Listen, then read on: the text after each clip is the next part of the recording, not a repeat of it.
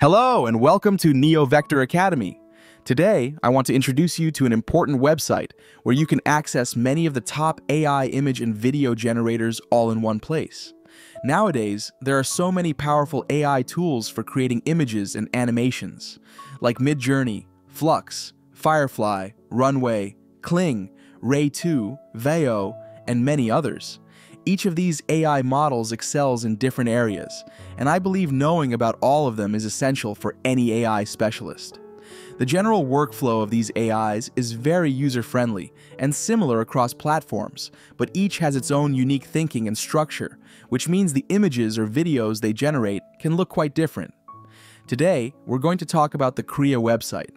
By purchasing a subscription there, you can use almost all the AI services you need for image and video creation, with some differences that I'll explain later. When you work on a project or video, the usual process is, first, you develop your prompt scenario with ChatGPT, then you create a storyboard and final images with an image generating AI like Midjourney or Flux. After that, you use video generation AIs like Runway or Kling to produce your videos. And finally, for editing and audio, you might use AI tools or apps like CapCut. Normally, handling such a project would require buying four or five different subscriptions. But with Krea, by buying just one account, you can access most of the AI tools you need for image creation, editing, video, and audio. Krea has its advantages and some limitations. The benefit is that you can do your entire workflow within one UI environment without switching between multiple AIs with different interfaces or buying multiple subscriptions for a single project. For example, subscriptions for Midjourney, Runway, ChatGPT. Here, one subscription gives you access to all of them. Krea itself doesn't provide many services directly, but acts as a bridge connecting other AI platforms and models. First, you create an account on Krea.ai. Then, through the Plan section, you can view available services and their costs. The free plan has many limitations and only a small number of monthly credits for using the services. The paid plans, Basic, Pro, and Max, range from $8 to $28, differing mainly in the number of credits and the amount of service available. For example, with the $8 plan, you can generate up to 1,000 images using the Flax model, or create 36,000 images with the real-time image feature, or enhance 180 images with other options. The differences between plans are mostly in the number of credits you get. Now, let's scroll down and see which AI models Krea supports. You can use these AI models for image generation. Flux, Flux Pro, Ultra, Ideogram, which is excellent, Imagen, and even the ChatGPT image model. We don't have Midjourney here because its structure doesn't allow it to be used on these platforms, but these are still very powerful AIs for image generation. For video, there are models like Wan, Luma, Kling, Runway. They've recently added Runway Gen 4, their newest model, which isn't live yet but will be added soon.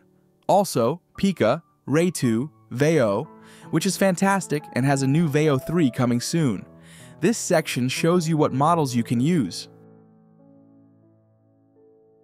Depending on your plan, if you're on the free plan for instance, you can only generate 13 images with Flux and can't switch models.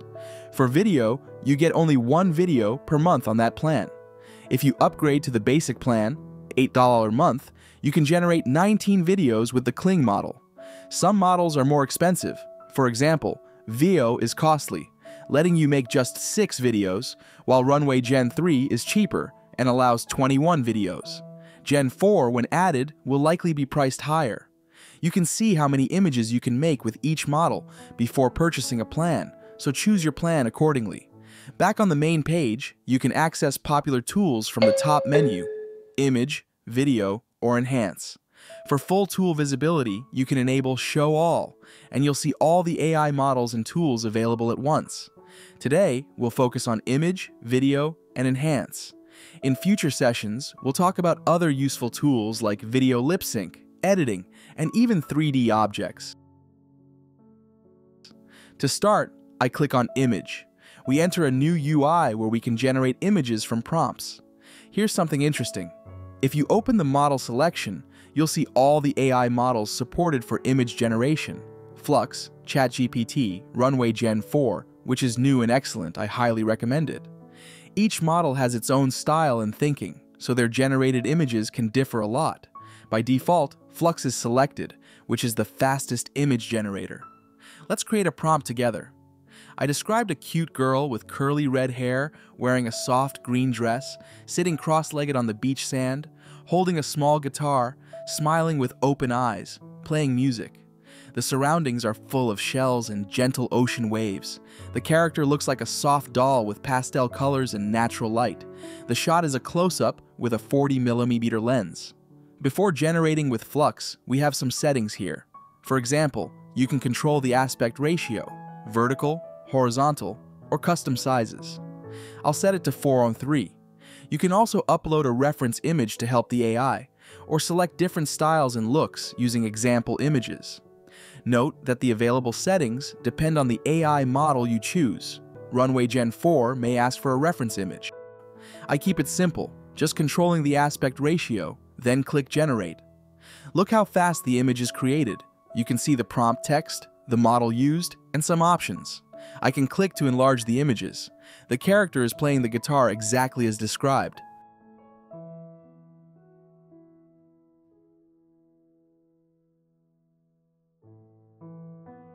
Let's try the same prompt with another model, Flux Pro, which uses more credits and takes a bit longer. I keep the prompt and settings the same and click Generate. This time, we get two images instead of four. The details look better to me, the texture of the dress, the hair, and the description of the beach. I'll also try Ideogram 3 with the same prompt, which produces two images. Clicking Generate again shows a different artistic style.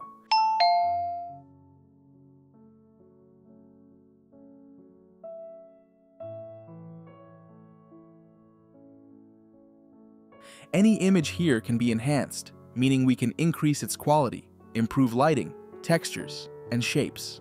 I select an image and choose Enhance. We enter a new UI for enhancing. The first option is to increase size and resolution.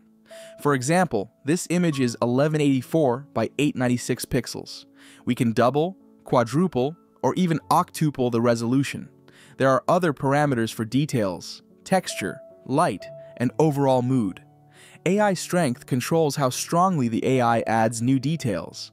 Higher values make sharper textures, Lower values reduce unwanted detail. Resemblance controls how faithful the final image stays to the original. Higher resemblance may reduce sharpness. Clarity controls how much the final image follows the prompt. Higher clarity means new details match the prompt better. Lower clarity focuses on color accuracy and reduces noise. Sharpness adjusts overall image sharpness. And if you use the match color, it preserves the color theme of the original image. I click Enhance with default settings and our prompt.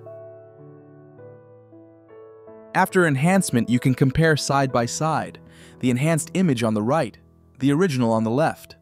Look at the dress's texture, which now looks more like felt, or the guitar's wood, which looks more realistic. Even the hair and the sand on the beach show more detail. You can also enhance images with different models. The default is Krea's own model, which is good but you can also try Topaz or other models available here. After enhancement, you can download the improved image. Back to the Home tab, I click on Video. The UI here is similar to the image section. Now check here and find out the video models available are Kling, Veo, Pika, Hailuo, Luma, Ray 2, Runway, and even the older Kling versions, and we can use all of them. I upload the enhanced image as a start frame for the video. Now I enter the video prompt. A young girl with curly red hair is gently playing a small guitar with her eyes closed, wearing a soft smile. Her fingers move naturally and softly with continuous playing motion. The camera moves smoothly and cinematically around her, and her hair gently flows with the breeze. You can select the video generation model. Some models are marked expensive and use more credits. For example, Kling 2 is excellent for video creation. The default is 1, which is the fastest and has good quality. Let's generate a video with a few different models. You can also define an end frame to specify video transitions, but for now, I generate with default settings.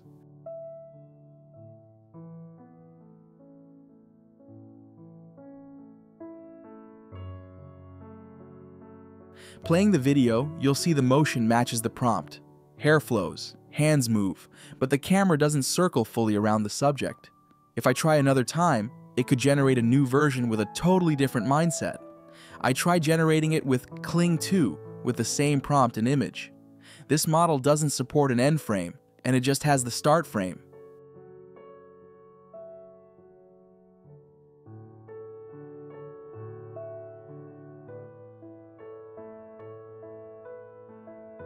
The generated video looks much better.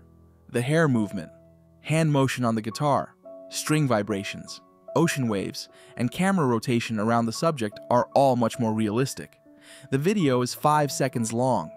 You can extend it or add audio later, and I'll explain more about these options in future videos. And finally, you can save your video by clicking the download button. Let me share a quick tip at the end of this video.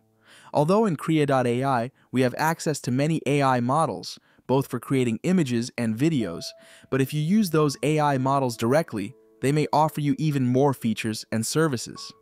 For example, if we use Runway or Kling AI directly, they provide us with more tools and options. Right now, I took the same prompt character we created in Krea and recreated it here using Midjourney. These are images that were generated and they look really great. And just look at how many options we have here. We can upscale, enhance, edit, and change any part of the image we want. For example, I click on Edit, then Open in the Edit tab. Now I can go to the Move section and change the aspect ratio to 16 by 9. In the Paint section, I can erase some areas and start reimagining those parts with a new prompt. For instance, I wrote a prompt describing the same character, but added a detail. I added, red crabs are moving and dancing on the beach. Then I clicked submit. This means I changed both the size and aspect ratio of the image and edited a part of it separately. Now you can see four images generated, including the crabs.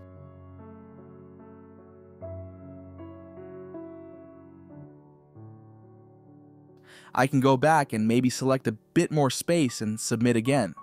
Okay, here are four new images where you can see the changes have been applied as we described. Now we can take one of these images to Krea and recreate the animation there.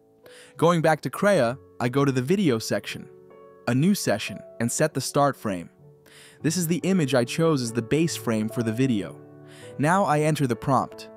In my prompt, I said a girl is playing a small guitar. Her curly red hair is moving in the breeze and wind. A few cute crabs are dancing and celebrating around her, and the camera slowly and smoothly circles the girl to show both her playing and the crabs dancing. Now I set the model to Kling and click Generate.